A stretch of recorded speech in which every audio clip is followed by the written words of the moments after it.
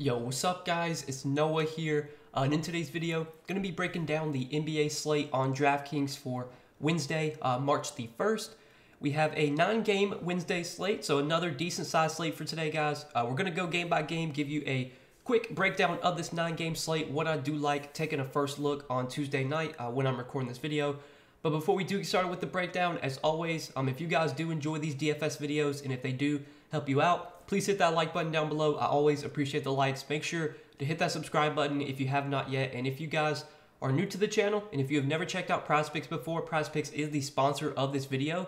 Uh, you guys can sign up for Prize Picks and use my promo code, promo code NOAH. If you look at the bottom of the screen, when you sign up with promo code NOAH, uh, PrizePicks, they will match your first deposit up to $100. So if you deposit $50, they'll double that and give you an additional $50 to play with. If you deposit $100, they'll double that, give you an additional $100 to play with. So um, you're basically going to get your first, you know, whatever you deposit doubled. Um, you'll have, you know, double the money to play with, and you can make some entries, look at their props, and see if there's anything that stands out to you. Um, they do already have some props posted for Wednesday. You can see what their board looks like right now.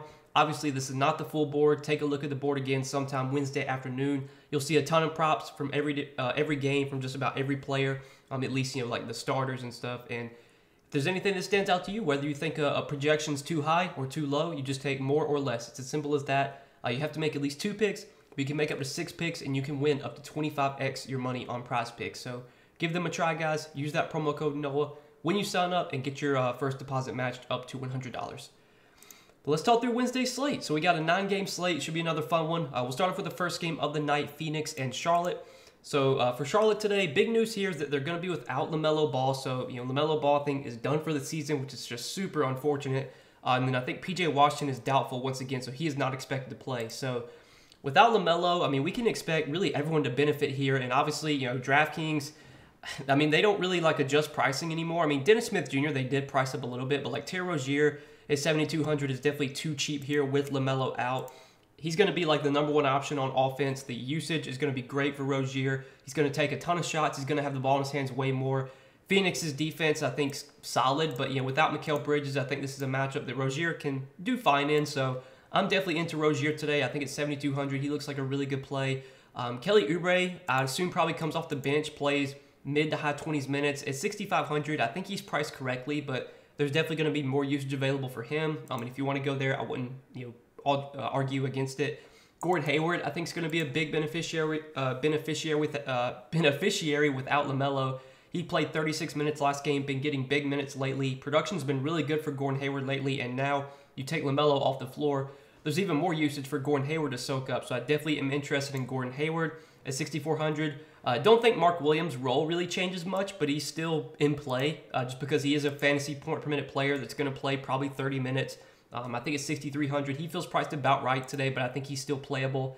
And then obviously Dennis Smith Jr. is probably going to be the guy that starts in place of LaMelo. Uh, he should play big minutes here, should be productive. He's always been a pretty productive per minute player, and I know in the games without LaMelo this season, he's been pretty productive in those games. So yeah, 5100 for Dennis Smith Jr. DraftKings did price him up a little bit, but I still think he looks good at this price tag.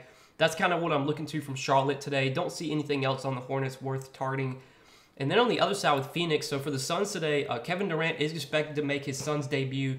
Um, he's going to be on a minutes limit. We don't really know yet what his minutes limit is going to be. He hasn't played in like over a month. He hasn't played in almost two months. So I think he's going to be on a pretty strict limit. He's not really going to be viable for DFS. But with Kevin Durant making his debut, that's going to take away from guys like Devin Booker, DeAndre Ayton, Chris Paul. It's really hard to consider anyone on Phoenix a priority today. Um, the matchup against Charlotte is obviously really good. It's a really good spot for DeAndre Ayton. We've seen Charlotte get killed by bigs this season. I think this is a spot where Ayton should have a ton of success. But with KD back, or I guess not back, but with KD making his debut, you know, does that affect Ayton at all? I think Ayton might be the guy that like gets the least like you know gets the least taken away from him. Like I think Ayton could still have a good game here. He could really dominate on the boards. Um, I think he'll be able to you know get plenty of um, you know they'll they'll be able to feed him in the post and get plenty of you know mismatches against this Charlotte team. So I'm still fine with Ayton at 8100, but I'm not super interested in Devin Booker. Not super interested in Chris Paul. Nothing else on Phoenix looks that great. Really, the guy that I think stands out the most here is probably Ayton, just because the matchup is so good against Charlotte. But That'll do it for that game. Let's move on to the next one Chicago and Detroit. So for Detroit today, they're going to be really short-handed once again. Uh, Isaiah Stewart already ruled out for this game. Jalen Duren already ruled out. And I think Bojan Bogdanovic, okay, Bojan is probable. So Bojan is expected back for this game, but they won't have Stewart. They won't have Duren. Um, so they're going to be more short, short-handed in the front court than the back court. Yo, Bojan is 6,200. I think in this matchup is fine. Um, he's going to have really good usage. His usage has been really good this season. It's just, you know, minutes. It's going to depend on, like, if this game is competitive. It seems like right now, I mean, a lot of these teams, like these tanking teams, Detroit, OKC, these teams are like literally trying to lose. And we've seen the last two games, even in competitive games, Bojan's only played 29 minutes. So that is definitely concerning that, you know, Detroit is clearly trying to lose right now. Um, they want to get that number one pick. So Bojan's definitely risky, but I think if this game is competitive, he probably does play like 30 minutes and he's in play at 6,200. Jaden Ivey at 5,600 I think is okay too, but I'm not super interested in really the, the guards here. I think most of my interest from Detroit is in the, the with the forwards and the bigs. So with Isaiah Stewart and Jalen Duren out, that really benefits J, uh, James Wiseman, really benefits Marvin Bagley.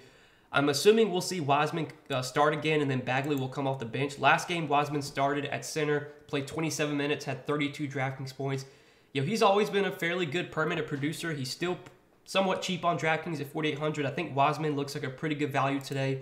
And then Marvin Bagley, I like quite a bit as well. Um, him and Wiseman didn't play a ton alongside each other last game, but I think we'll probably see them play alongside each other a little bit here. Um, maybe they start Bagley alongside Wiseman. They could do that. I don't think they will, but they could. Um, but regardless, I think Bagley at 4,900 is an okay value as well. I would probably prefer Wiseman just because I think as a starter, Wiseman's minutes are more secure. But Bagley should play 24, 25 minutes off the bench, and he's a good per minute producer. So he's another guy you could look to for value. Those are probably my two favorite plays on Detroit, the bigs, you know, Wiseman and uh, Bagley.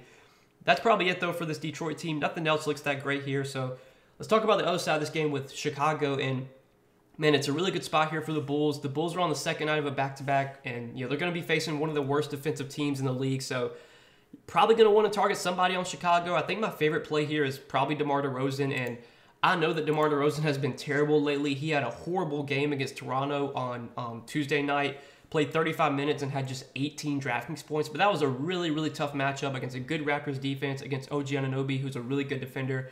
Now you get to face one of the worst defensive teams in the league and a team that really has no good defenders at all. So big bounce back spot here for DeMar DeRozan. I think it's 7,900. He is definitely my favorite play on Chicago today. But if you want to go to LaVine or Vooch, I don't hate it. I just think given the savings, DeRozan's the guy that I prefer between those three. I'm not really into any other Chicago guys though. Um, if I'm going to target anyone on this team, it's going to be you know kind of one of the big three. So let's move on to the next game: Cleveland and Boston. You know, this is one of your games, you know, your typical typical game that's like going to be a fun one to watch, but it's not going to be a game worth targeting for DFS. These are two really good defensive teams, two teams that play slow as well. Um, starting off on the Boston side, Boston is pretty much fully healthy. Um, they had some guys out last game, like they didn't have Jaylen Brown, but he's back for today. Um, Marcus Smart is you know back and healthy again, so I don't really like much on Boston here. You know, Tatum and Jalen Brown are two guys that can always have big games any night, and when no nobody would be surprised if you know Tatum went out there and put up 60 DraftKings points, or you know Jaylen Brown put up 50 DraftKings points, but at their price tags in this spot, neither one of them look like priorities today. Um, and I think the rest can, you know, that can be said for the rest of Boston. Um, you know, Brogdon, Derrick White, Marcus Smart, these guys don't look as appealing now that Jaylen Brown is back. The bigs from Boston, I could maybe see like Robert Williams is a really good per minute producer. His per minute production this season has not been nearly as good as previous seasons, but you would think in a matchup like this against a big Cleveland front court, they're going to want to play Robert Williams as much as he can be out there. So I think he's going to play like 30 minutes. If you force me to play anyone on the Celtics today, I think Robert Williams would be the first guy that I would look to, but I'm really not interested in many Celtics today. And on the other side with Cleveland, it's pretty much the same thing. Cleveland, you know, Garland and Mitchell, the guards, they're always playable, kind of similar to Tatum and Brown, but they're priced correctly for this matchup against Boston. Neither one stand out. Same could be said for Mobley and uh, Allen at their price tags. And nothing else on Cleveland. None of these other guys are even worth considering. So, yeah, fun game to watch. I'll definitely be tuning into this one, but I don't think for DFS I'm really going to be heavily invested here. So, let's go ahead and move on to the next game uh, Philly and Miami. And it's kind of another game, you know, another game that should be fun to watch, but it's going to be, you know, probably lower scoring, and it's not going to be a game we really want to go too heavy on for DFS purposes. Um, you know, Philly, uh, or we'll start off with Miami first. So Miami, they're still going to be without Kyle Lowry, but I think uh, Kevin Love and Max Strus are both probable. They're both expected to play. Um, yeah, they're both, or actually, Max Strus is questionable, so we'll have to keep an eye on his status. But um, Kevin Love is probable. Kyle Lowry is still out, so you'll probably see more minutes for Gabe Vincent, more minutes for maybe Victor Oladipo. I know Oladipo's not been playing like a ton lately. Uh, last game he only played you know 19 minutes, but the price tags have kind of adjusted for that already, so we're not really getting a ton of value here. You know, Jimmy Butler had a big game last game against Philly. He put up 58 DraftKings points. He nearly had a triple double. He played 32 minutes. It's it's weird to see Butler not playing like massive minutes. Like even in competitive games lately, he's only been playing like 31, 32 minutes. He's not really playing like 37, 38 minutes, um, which I think does cap his ceiling a little bit. But we see Jimmy get up for these big games against big time opponents. He obviously played really well last time they faced Philly. I don't mind going to Jimmy today at 9K. I think he's more of a contrarian option, but I think he is in play. Bam really struggled in this matchup against you know Embiid. He played 32 minutes and had just 26 DraftKings points. The price tag on Bam did come down a little bit. He's okay, but I'm not considering him a priority today. I probably would rather play Butler between the two. And then Herro at 7,600, I'll pass on. Um, the rest of Miami, I don't see too much else I like here. Kevin Love's been starting lately, but you know minutes last game got cut way down. He just not been great as a starter. Um, production's not even been that great either. So yeah, just really don't see much here. I think that's pretty much it for Miami. And, and then on the Philly side, know, Joel Embiid kind of struggled in this matchup, kind of expected. I mean, Miami's been one of the best defensive teams versus centers this season. It's a really, really tough spot for Embiid. He played 34 minutes, had just 45 DraftKings points. Um, you know, at 11-2, I wouldn't consider Embiid a top option today. There's other uh, other guys I'd rather spend up for. We have a nine, obviously with a nine game slate. There's going to be other guys to go to. Um, I think last slate uh, that day on Monday when these teams played, it was like a it was a four game slate. So obviously Embiid stood out more that day when there was less games. Now that there's more games and there's more guys to pay up for, wouldn't consider Embiid a top option here, um, just because the spot is just not the best against Miami. And then like James Harden at 10,300, I'll pass on. I probably, if I was going to play one of the Philly guys, I'd rather go to Embiid. And I'm not considering anyone else on Philly. Tobias Harris, Tyrese Maxey, these guys on a nine-game slate just not going to do it for me. So let's move on to the next game. Not too much to like in that one. Uh, Brooklyn and New York. So start off on the uh, Knicks side. So looking at the Knicks here, Julius Randle, Jalen Brunson, you know, pretty much say the same thing about these two guys like every single day. They're going to play really big minutes if it's a close game. They're priced correctly though. Randle's 9,500, which feels like kind of the the right price tag for him. His production lately has been a little bit down. He's had back-to-back poor games, but we know at some point Julius Randle's going to bounce back and have a big game. The Nets defense, you know, they haven't been like this elite defensive team, but I still think the, the matchup against Mikal Bridges against Dorian Finney-Smith is not the best. So if you want to go to Randle, it's fine, but he's just more of a GPP place. I think the same could be said for Jalen Brunson. RJ Barrett at 5,800 is just not a guy that I'm super interested in. His his production lately kind of been all over the place. Minutes have also been a little bit down. Um, Josh Hart's been playing really well off the bench, and he's kind of been taking some minutes away from Barrett. So, not super interested in Barrett. Hart is going to come off the bench, like I said, probably play 25, 30 minutes. He's playable at 5,200, but I have a feeling there's going to be better value on a nine game slate really not too much stands out from the Knicks. Um, Mitchell Robinson, you can maybe go to. He's been playing pretty good minutes. I think he might be my favorite play on the Knicks if I had to play anyone here. Uh, in the three games he's played since coming back from injury, 28 minutes, 28 minutes, and 32 minutes, and he's always been a you know fantasy point per minute player. So if we're getting 30 minutes from Mitchell Robinson at 5K, yeah, he can easily outperform the salary. So that's probably my favorite play on the Knicks is Mitchell Robinson. And then on the other side with Brooklyn, you know, Mikal Bridges, he's been great since getting traded to Brooklyn. Um, you know, had really good usage, been playing massive minutes. His per minute production's been way better with his Nets team. The price tag is 7400 feels about right, but clearly Bridges has the upside to outperform the salary. 45 DK points uh, on Tuesday night against Milwaukee, 43 against Atlanta, had 71 against Miami. The ceiling is definitely there. The matchup against the Knicks, I think, is okay. So I'm fine with Bridges. He's more of a contrarian play, but I think he is in play here. Uh, don't love the spot for Nic Claxton, but Claxton did have a huge game on Tuesday night. Um, he got he racked up a lot of stocks. Um, he he did a lot better on like on Yahoo and on FanDuel because he had three blocks and three steals. I think he had like 40 fantasy points over there. He had 35 DK points, played 31 minutes. Minutes have kind of been trending up for Nic Claxton lately, and I think with Ben Simmons out, like they just really don't have many bigs that they are confident giving minutes to. Um, when when Simmons was healthy, they could play like small and play Simmons at the five. They don't really have that option with Simmons out right now. So I think Claxton is going to get like 30 minutes, and he's a good per minute player. he's fine at 6,400 if you want to go there. And then I want to talk about Cam Johnson for value. So Cam Johnson, man, been really, really good lately. 36 DK points on um, Tuesday night against Milwaukee, 30 or 39 DK points the game before that against Atlanta. Minutes have been really good for Cam Johnson lately. Production's been great. His price tag at 5,300 is still somewhat low. Um, I think Cam Johnson in tournaments makes some sense today. I don't think he's really going to get much ownership, so he's definitely someone you can look to as a kind of a value play. Um, we'll have to see if you know any other value opens up today, but that'll do it for Brooklyn. Nothing else really stands out on the Nets. So let's move on to the next game, the Lakers and the Thunder. So we'll start off on the OKC side. For OKC today, we're going to have to monitor the news here with SGA. Uh, we don't really have any update on SGA yet. Um, it looks like he entered health and safety protocols. I know he was injured. He was he was actually injured. Like I think he has he had an ankle and an abdomen injury.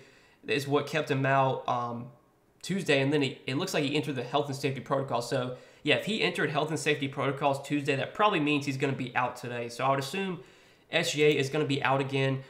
You know, OKC, if you look at their box score Tuesday night, they ran some weird rotations. They none of the starters besides Jalen Williams played much of the four, of the fourth quarter. Josh Giddey for the game only played what 19 minutes in a competitive game.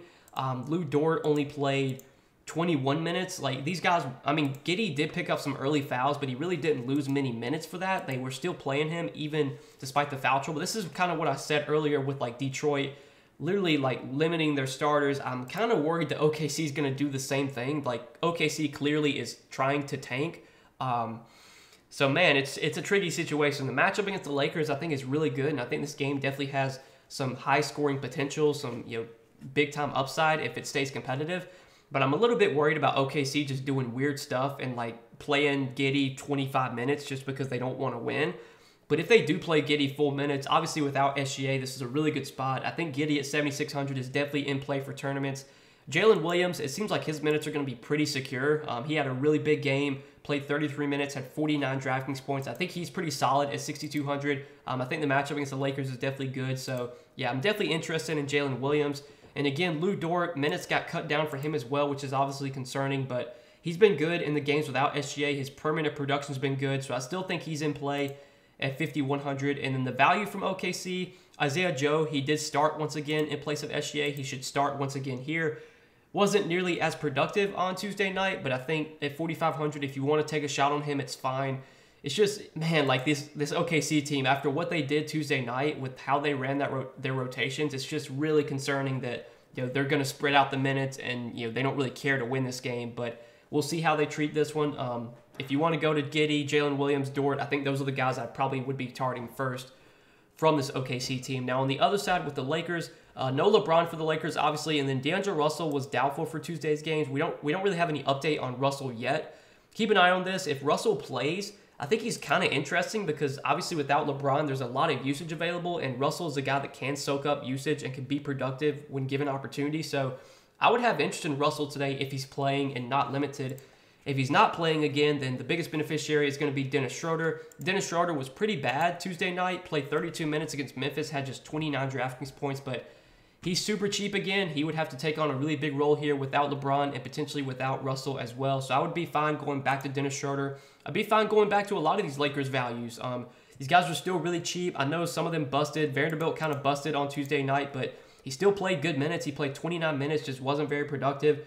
Matchup against OKC, I think it's much better for Vanderbilt. OKC really struggles to rebound, so this is definitely a spot where Vanderbilt can really dominate on the glass, and that's where he's going to do a lot of his production. So, yeah, I'm fine going back to Vanderbilt today. I'm fine going back to Malik Beasley. Again, I know these guys were not that great Tuesday night, but they're still really cheap. There's no LeBron. There's probably going to be no Russell either. These guys still look like pretty good values. And then obviously Anthony Davis is in a great spot here against OKC. It's a back-to-back, so we'll have to monitor the injury report, but I assume Anthony Davis plays here. The Lakers need to win games right now if they want to have a shot at making the playoffs. And hopefully this is a game that they can easily win against a bad Thunder team that doesn't have SGA right now. So expect uh, AD to play here. Expect him to have a massive role, play massive minutes, and – OKC is going to have no answer for him. This is a spot where Anthony Davis should absolutely be able to dominate. So I definitely like him at 10,200. I think he's a really strong play. Um, once again, there's going to be a lot to like from the Lakers today, um, especially if you know Russell doesn't play as well. But that'll do it for that game. I think we kind of talked about everything there. Um, I know Austin Reaves had a good game off the bench on Tuesday night. If you want to go to him in GPPs, I don't think it's bad. Like I think he's definitely in play. He's only 3,800.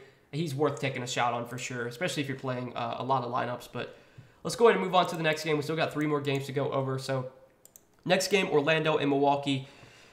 Milwaukee, they're on a back-to-back today, so we're definitely going to have to monitor their injury report. This is obviously a game against Orlando that they, they should easily be able to win. Um, Giannis has kind of been off the injury, or you know, he's been on and off the injury report lately. He did play on Tuesday night, played 28 minutes in his return, had 59 DraftKings points. A little bit worried about Giannis sitting today. I think there's definitely a chance he does sit on a back-to-back, but you know, keep an eye on it. Obviously, if Giannis plays, he should crush here, but I'm definitely worried about blowout. I mean, this is a spot where Milwaukee should just crush Orlando. So it's hard to really get excited about many Milwaukee guys, especially if Giannis is in, just because everyone is priced correctly for Giannis to be in. If Giannis gets ruled out and he doesn't play on the back to back, then obviously Jrue benefits, Bobby Portis benefits, Lopez, Middleton, they benefit too. You know, these guys aren't like super, super cheap. I mean, Jrue's 8,800, Portis is 7,300, Lopez is 6,600, Middleton is 6,500. It's tough to really say too much about Milwaukee right now. Um, you know, maybe like I know Middleton's kind of been sitting. Like I think he sat in their last back to back. So like maybe Middleton sits today, and like if, if by some chance Middleton and Giannis both sit, then that would definitely change a lot. That would make Jrue look really good. Portis would look really good. But for now, there's not too much to like on Milwaukee, assuming they're fully healthy here. This is just a spot where I think they're going to easily be able to cruise to victory. And at their price tags, I don't really see any of these Milwaukee guys being super appealing. Now, on the other side with Orlando, Orlando is a team I'm just probably going to avoid today. Um, it's a game that I think has a lot of blowout risks. It's a tough matchup as well. Don't really like Banchero here. Don't really like Wendell Carter Jr. in this spot. Same goes for Markelle Fultz. I mean, on a nine-game slate, uh, yeah, I'll probably just pass on these Orlando guys. And if somebody on Orlando goes off today, then so be it. But I have a feeling a lot of these guys are going to be, you know, unowned. So it, it might not even kill you if somebody does go off here, just because nobody's probably playing anyone on this team. So let's go ahead and move on to the next game. Really, not much to like in that one. Next game, uh, Memphis and Houston. So Memphis, they're another team on a back-to-back today. We'll have to monitor their injury report. We'll start off on the Houston side, though. So for Houston, uh, Kevin Porter Jr. was questionable for Tuesday's game, and he did not play. Jalen Green did wind up playing, though. Um, given Kevin or given that Kevin Porter Jr. sat out Tuesday night, I think that means he'll probably wind up playing today. But man, Houston, like they're another team that just we don't really know what we're going to get from Houston. Are they even going to try and win this game? Sengun once again did not play like a ton of minutes. He played 29 minutes. It was another blowout. Um, I think Jalen Green's minutes were not like super high. Like he only played 19 minutes. I mean, it's a really tough situation. Um, obviously, the matchup against Memphis is not the best either. So I don't see too much to really like on Houston today. You know, if Kevin Porter Jr. is out again, then like maybe you could go to Sengun, maybe you could go to Jalen Green, but these guys don't look like great options at their price tag. They're just kind of like GPP dart throws. Jabari Smith and KJ Martin both feel priced correctly, especially now that you know the guards are back. There's really no value worth targeting on Houston. It's just not a team I really want to be heavily invested in on a nine game slate when we have other teams that are shorthanded that are trying to win. Um, whereas Houston, I don't think really is trying to win right now. And then on the other side with Memphis, it's a great spot here for Memphis. So I think Memphis is definitely a team we're going to want to look to. Ja Morant is just in an absolute smash spot. I think this is a spot where Josh should just go nuts. I mean, Houston is going to have no answer for him. We saw Ja have a huge game, triple double against the Lakers on Tuesday night. I would not be surprised if he had another triple double here. I mean, Houston They've been killed by guards this season. Ja went nuts against them earlier this year, put up 49 points, four rebounds, eight assists, 73 DraftKings points last time he faced Houston, and I think he did that like kind of in a blowout too. Um, if I can find that game, let me see if I can find it in the game log. Uh, let's see. He played, yeah, he played 31 minutes. It was actually a competitive game, but yeah, 73 DK points. I mean, Great spot here for Ja. 9,900 is definitely too cheap for this matchup, so I think he's right up there with Anthony Davis in terms of like best pay up option on the slate. The rest of Memphis, Bane and Triple J, I don't mind, but I think they are priced correctly here. But again, the matchup is just so good. Like, it feels likely that somebody from Memphis is going to do well today, if not maybe multiple guys. Um, Xavier Tillman, he should continue to start in place of Steven Adams.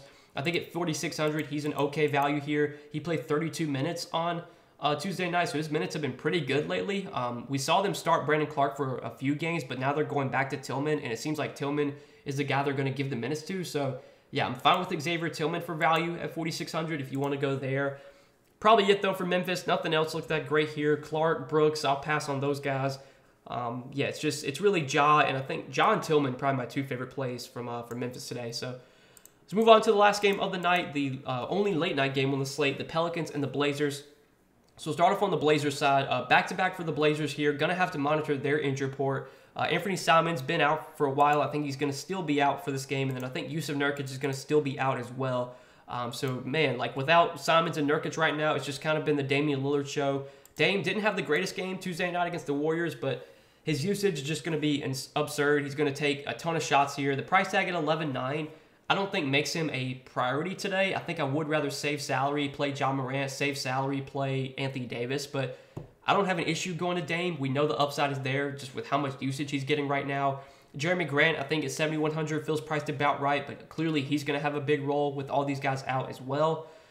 The value from Portland, though, I've just really not been playing these value guys, like Cam Reddish, Drew Eubanks, you know, the Matisse Thybulle. Like, I just haven't been playing these guys, and I know Reddish has had some good games lately, but he feels priced about right for what his upside really is. Same goes for Drew Eubanks. Same goes for, you know, Matisse Thybulle. Don't see too much I like on Portland besides really you know Damon and, and Grant. And then on the other side with the with the Pelicans, so obviously still no Zion for the Pelicans. Jonas Valanciunas is questionable for this game, so this will be really big news to keep an eye on. There would definitely be some value to go to from the Pelicans if Jonas Valanciunas sits.